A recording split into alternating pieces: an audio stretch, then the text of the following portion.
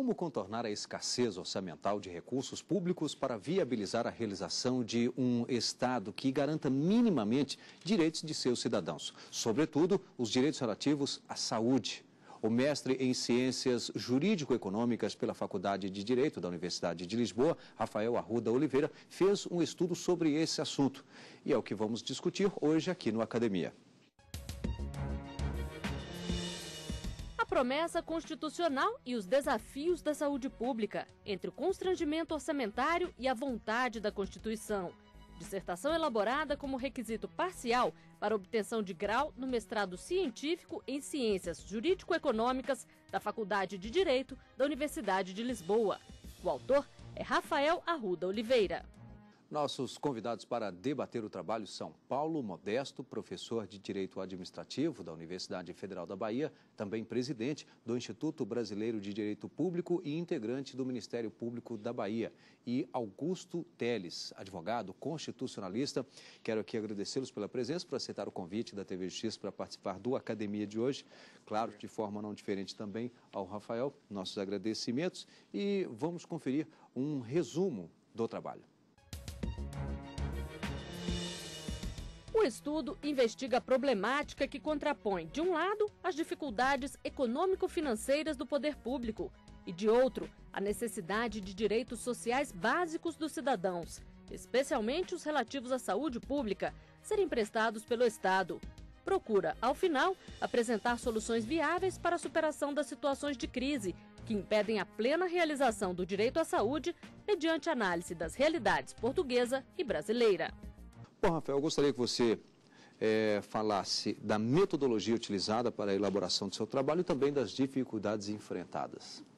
É, Rimac, antes de mais nada, gostaria de agradecer a oportunidade e o convite a mim formulado para partilhar algumas impressões sobre este que foi o tema da minha investigação de mestrado. Bom, é, as dificuldades enfrentadas foram aquelas inerentes a qualquer investigação científica o método utilizado foi o método técnico-científico, por meio de pesquisa bibliográfica, é, em que eu pretendi fazer um estudo, de certo modo, comparado entre as realidades portuguesa e brasileira. Bom, vamos conferir parte da bibliografia utilizada neste estudo. O setor privado nos serviços públicos de saúde. Autor Fernando Mânica. Editora Fórum. Onde para o Estado? Políticas Públicas em Tempos de Crise. Autoria coletiva. Coordenadores Renato Miguel do Carmo e João Rodrigues. Editora Nelson de Matos. QCG Santé e Economie en Europe. Autora Beatriz Magnoni Dantignano. Editora Presse Université de France. Bom, Rafael, eh, de que forma cada uma dessas obras contribuiu para o seu trabalho? Bom, a primeira delas é a participação do setor privado nos serviços públicos de saúde, é, de autoria de Fernando Mânica, traça um importante quadro nacional a respeito da participação do setor privado no serviço de saúde é, e explora as possibilidades disso de acordo com o texto constitucional. É uma obra de relevo, foi uma obra de relevo para a elaboração de meu trabalho. É, a segunda obra é Políticas Públicas em Tempo de Crise, é, tem como autoria é, cientistas sociais portugueses das mais diversas áreas, e estes cientistas sociais procuram, então, é, investigar de que maneira pode o Estado atuar na realização de políticas públicas, tendo por pano de fundo uma crise do Estado social. E, por fim, a obra Santé e Economia na Europa, é, de Beatrice é, Maginoni, é professora da Universidade de Paris 12, ela traça um paralelo importante é, sobre os vários sistemas de saúde no âmbito da União Europeia. Bom, queria que você então agora falasse de seu trabalho. Bom, é a grande problemática vivenciada aí pela, pela grande maioria dos países, especialmente os países europeus, é, no momento em que se encontram é, confrontados pelas crises econômicas e financeiras. E o grande desafio é esse: como ofertar prestações de qualidade em saúde a um custo suportável pela sociedade. É um dilema também enfrentado pelo Brasil, porque os cuidados em saúde é, a cargo do poder público no país, todos sabem, e não é de nenhuma aspereza afirmar isso, são de péssima qualidade. E de que maneira, então, melhorar a qualidade, ou seja, obter ganhos de eficiência econômica e administrativa, é, sem que isso, no entanto, cause abalos à economia do país. Por uma razão muito simples: os recursos são escassos e as necessidades são sempre limitadas. Bom, nós vamos aqui a um rápido intervalo e em seguida estaremos de volta já na fase de debates no Academia. Até já.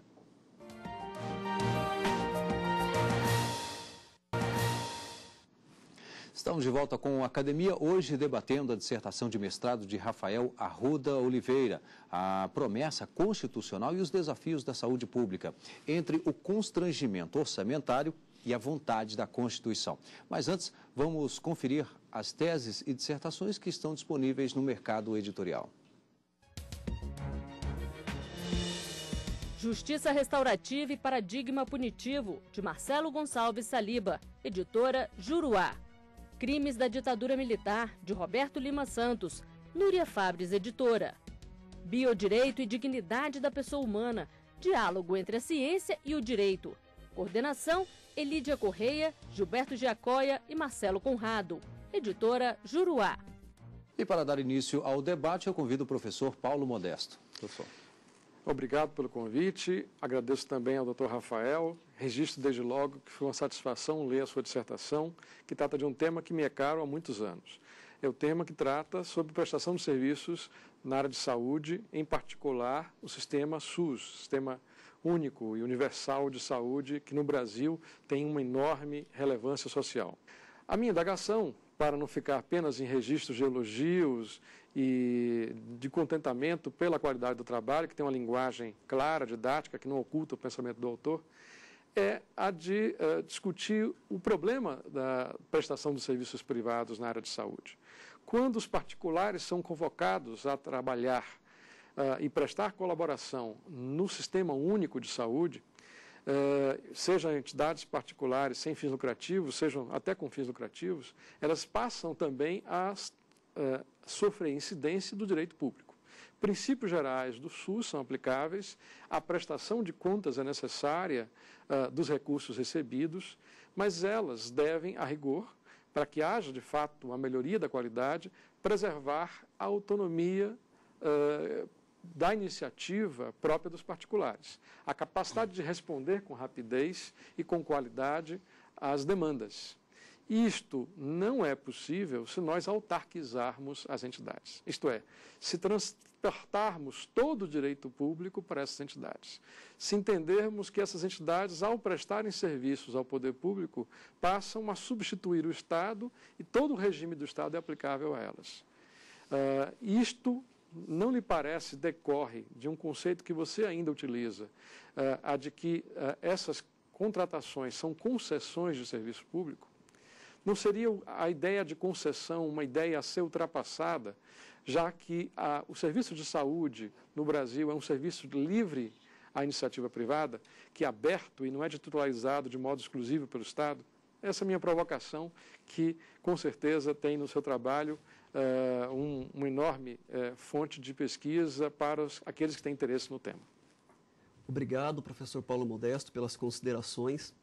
E, de fato, neste que é um fenômeno de coprodução do bem público, quando eu atraio a participação do setor privado para, num regime de parceria, é, desenvolver e prestar serviços de relevância pública, notadamente o serviço de saúde pública, é, é claro que nós temos de ter em conta que aplicar-se-á a esse regime de serviço executado pelo parceiro privado o regime privado, por exemplo, de contratações.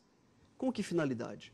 Com a finalidade de que o parceiro privado, é, em razão de sua agilidade, em razão de sua maior rapidez em aquisições e contratações, é, preste um melhor adequado serviço de saúde pública. As coisas assim se passam porque vive o poder público uma séria crise é, burocrática. Crise burocrática que decorre, é, em grande parte, de um sistema monolítico e fortemente enrijecido. Então, quando eu atraio a participação do setor privado, é para que, exatamente, é, este privado, dotado de maior agilidade é, e maior presteza, obtenha ganhos de eficiência econômica e administrativa que normalmente não são encontráveis no âmbito do poder público.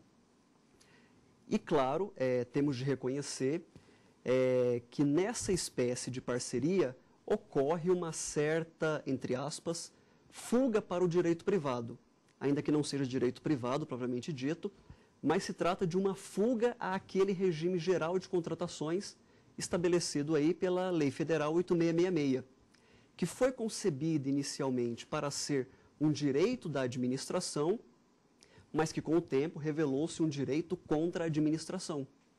Tamanha a quantidade de entraves e dificuldades burocráticas que proporciona.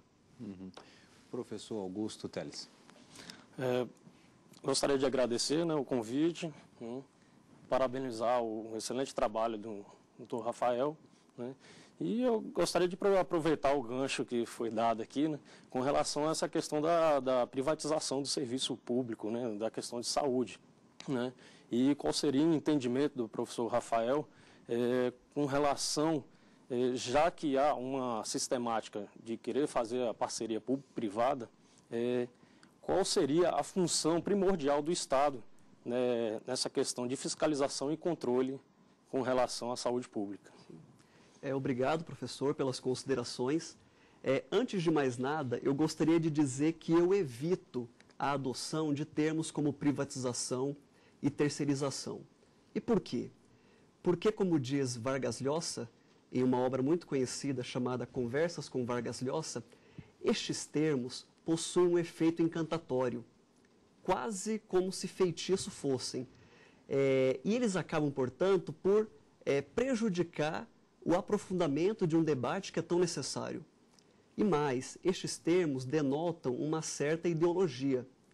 E são ruídos ideológicos que, nesta matéria de que eu trato, parcerias do setor público com o setor privado, que têm impedido, ao meu ver, um maior aprofundamento da temática. Portanto, é, eu trato de regime de parcerias, público-privado, sem me referir à privatização e terceirização. E assim o faço porque não se trata de privatização, não está o poder público comercializando a saúde pública, como popularmente temos escutado por aí. O serviço público de saúde é serviço público por excelência, quando prestado pelo poder público.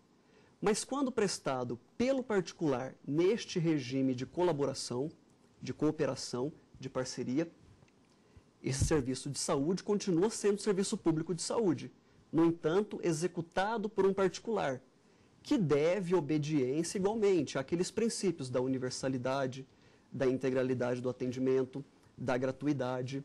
O que eu tenho apenas é uma transferência quanto ao agente prestador, o que, aliás, se insere nessa mudança de paradigma, nessa passagem do Estado provedor, esse Estado pai de todos, que tudo suporta e tudo provê, para um outro modelo de Estado, um Estado fomentador, um Estado incentivador, um Estado regulador. E fazendo agora um gancho com a pergunta feita pelo professor, com relação a controle e fiscalização, eu digo que o futuro das parcerias do setor público com o privado passa exatamente por isso, por um adequado e eficiente é, controle, fiscalização, supervisão, monitoramento desses ajustes de natureza convenial ou não. E por quê?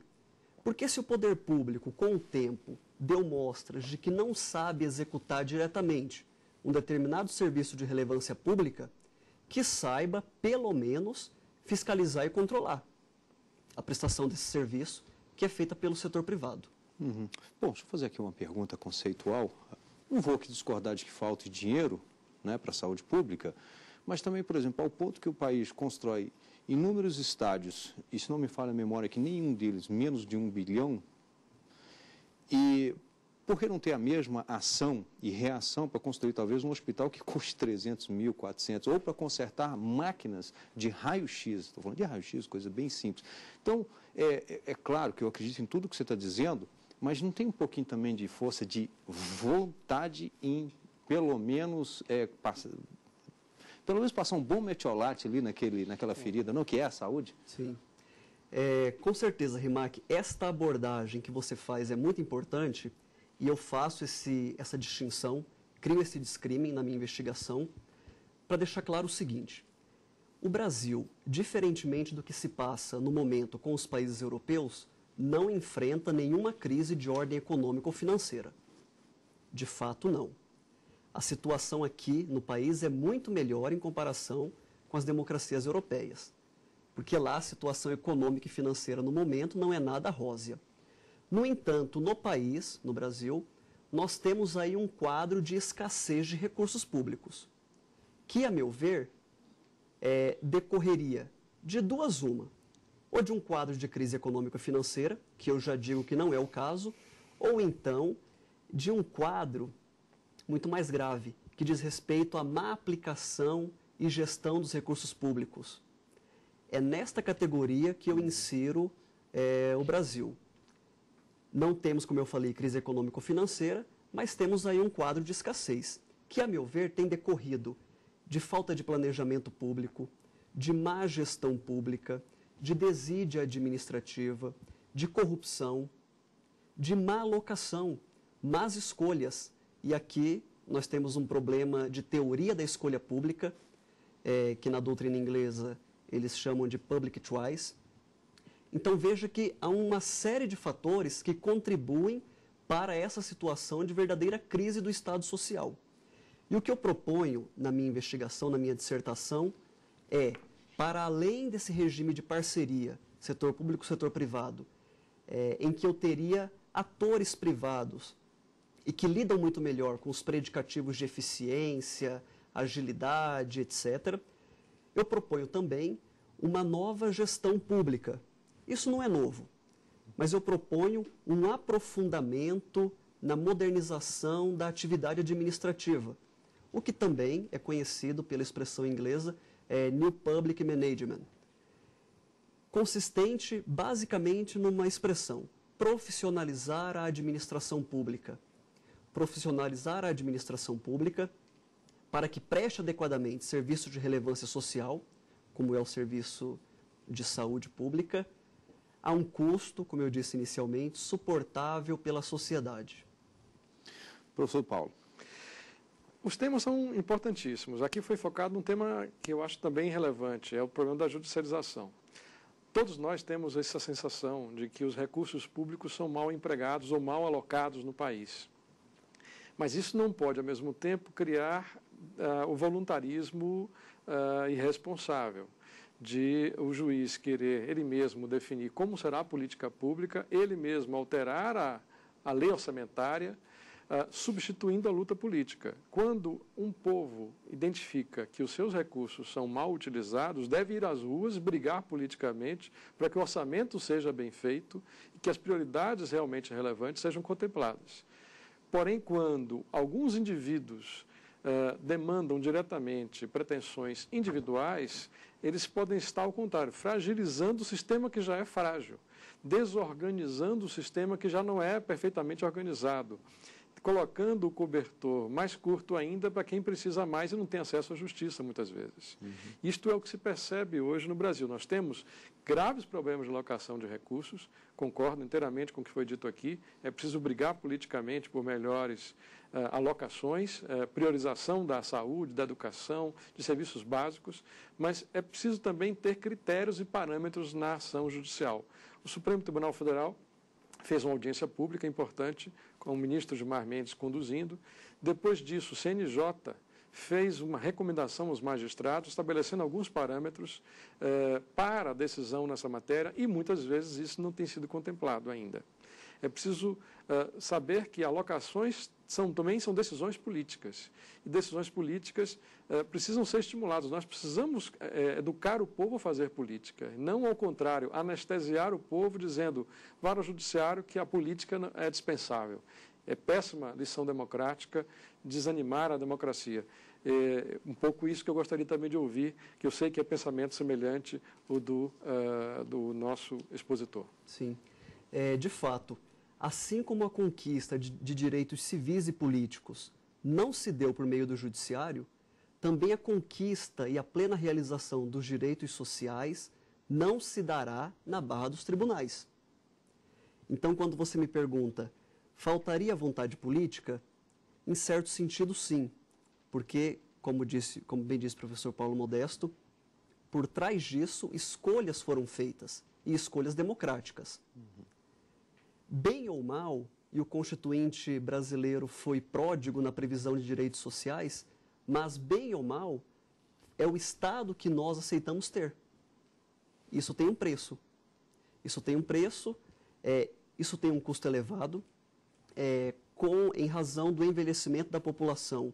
Esses custos em saúde tendem a aumentar, por uma razão muito singela, viver por longo tempo tem um preço, e viver por longo tempo com qualidade de vida tem um preço ainda maior, de modo que essas questões todas não serão resolvidas pelo judiciário, que está mal preparado para, ao fim e ao cabo, realizar políticas públicas. É o que, de certa forma, faz o judiciário quando judicializa, quando determina escolhas, quando toma decisões. Professor uh, Augusto. É, bem, minha pergunta é bem simples, né? É, é, com, com, relação a esse assunto. É, faltou, eu creio assim, faltou um acompanhamento do Estado ao crescimento da demanda é, de saúde, segurança, educação. Né? Então, eu gostaria de saber até do, do professor Rafael o que poderia ser feito para minimizar esses efeitos. Bom, com relação à demanda, é, eu digo que a demanda tende sempre a crescer, porque o que é expectável, o que é de se esperar, é que as pessoas, os cidadãos, procurem sempre serviços de saúde de mais e melhor qualidade. Então, essa é uma tendência com a qual o poder público terá de lidar. É... O que o poder público talvez poderia pensar, e, esse não é, este não é bem o foco da minha dissertação, diz respeito à prevenção de consumos excessivos. Mas vejam que este não é o problema crucial para a má prestação de serviço público de saúde porque, como eu aqui tive a oportunidade de apontar, é, a má prestação de serviço tem decorrido de outros fatores, como eu já mencionei, corrupção, falta de planejamento do administrador, desídia, e não de um eventual consumo excessivo por parte da população.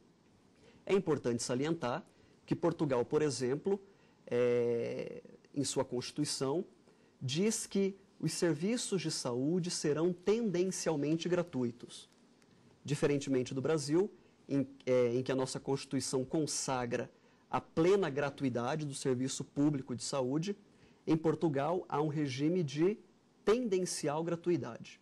E o que isso quer dizer? Isso quer dizer, isso significa que o poder público está autorizado a cobrar taxas.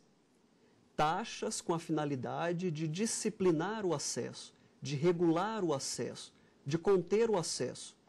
Repito, é, não me parece ser este o caso brasileiro, não me parece ser esta a solução para o problema brasileiro, porque, como eu mencionei, é, o problema no país tem outras causas.